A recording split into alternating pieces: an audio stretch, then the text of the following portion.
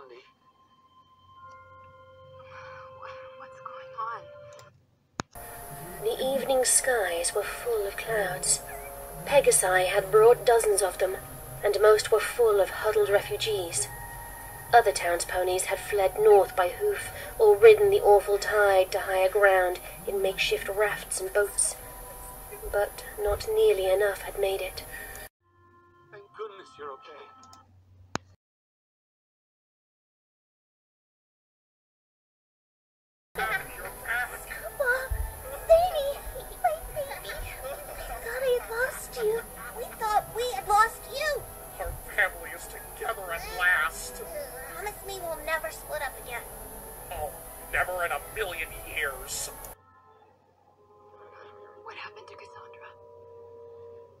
Sunshine. I don't know if you should be.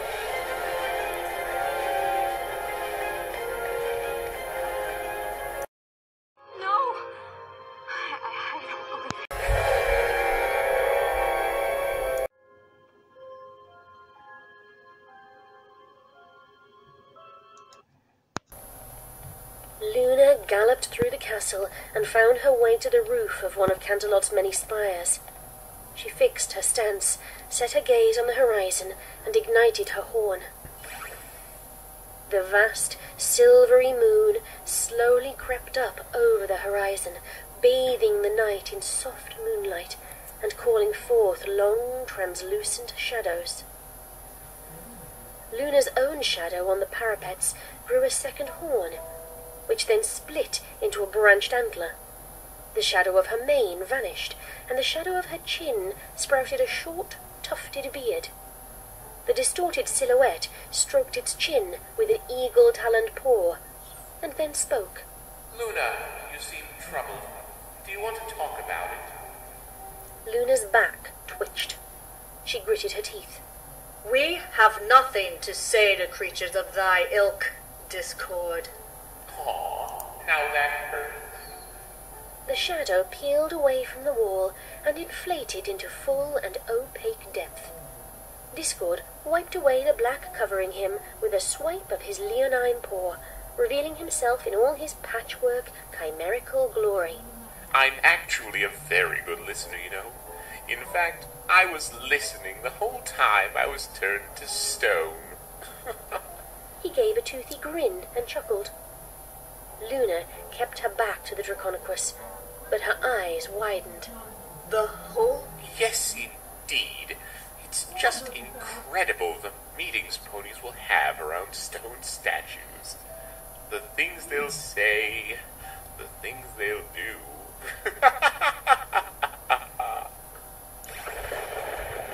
Luna's eyes blazed white. Her mane blew back from an unseen tempest, and her voice took on a booming echo. Do not toy with us, demon! The outburst blew Discord's flesh away like dry leaves in a windstorm, leaving his implausible skeleton exposed. now, now, there's no need to get all royal on me. We villains have to look out for each other, you know. I am not a villain. Luna, please. We're both ex-convicts here. You don't have to pretend. Leave us. Remember what I said, Luna. He snapped his fingers and was gone.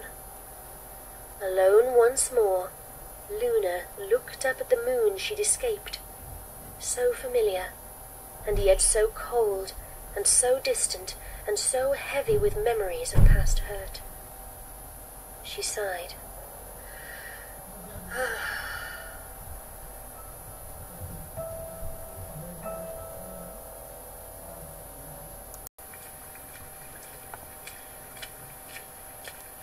The bus route did not go directly to Maple Street. Instead, it let out a whole street earlier, which meant Megan was about a half a block from her apartment building when the world went quiet. The silence had fallen subtly, with the perpetual noises of the city night being subtracted one by one. Now, on the vacant sidewalk next to the empty street. The falling rain made the only sounds. No cars or buses or subways provided background roar. No sirens or horns or burglar alarms or gunshots rang out. There was just the white noise hiss and patter of the rain, as constant and chaotic as television static.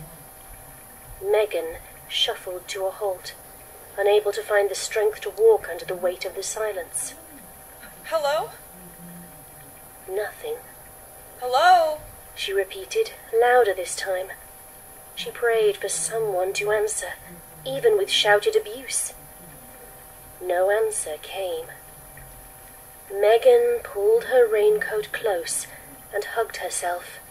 The damp chill in the air suddenly felt bone deep. A shift in some filth lodged in a sewer drain made a splash, and Megan jerked around to face it fast enough for her heel to kick up a fan of water from the puddle at her feet. Hello? Back the way she'd been facing, a whistling fast descent ended in a massive crash in a nearby alleyway.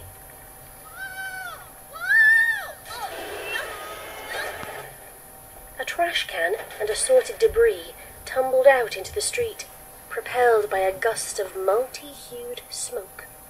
Megan turned back around too fast and slipped off her feet, sitting down hard in a shallow puddle.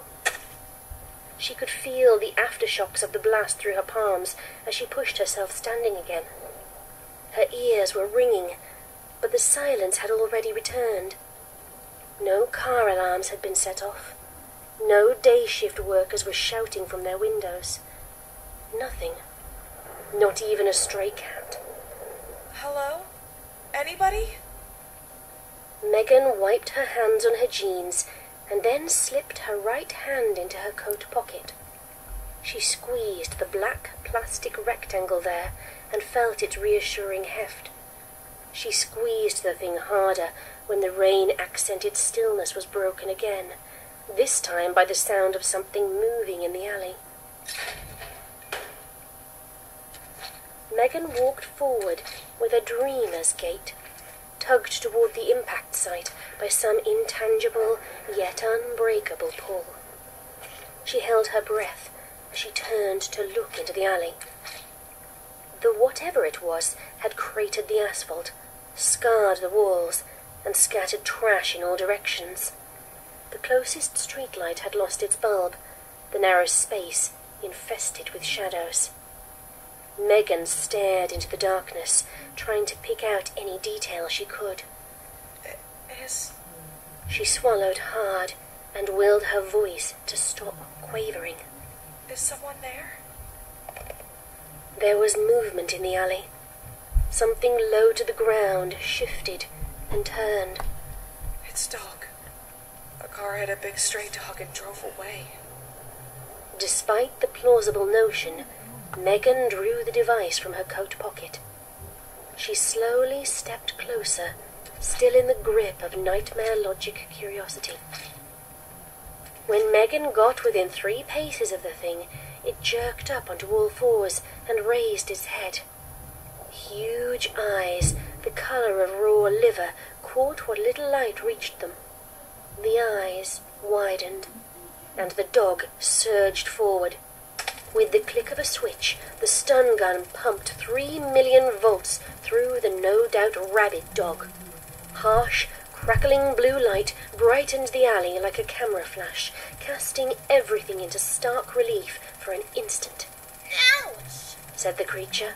What the hey? It wasn't a dog. Megan's world lurched. She stumbled backward, letting her weapon drop. No, She was gasping for breath. Her lungs refused to fill. It, it can't be. She felt icy adrenaline soak her veins. It can't be. Black smoke seeped into the edges of her vision. Her pupils were pinpricks. It can't. Megan's knees gave out. The pavement rushed up to meet her.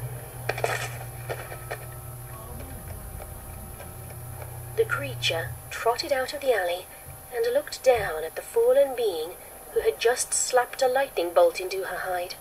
It's okay.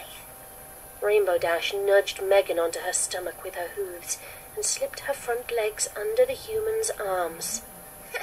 I didn't think you were real either.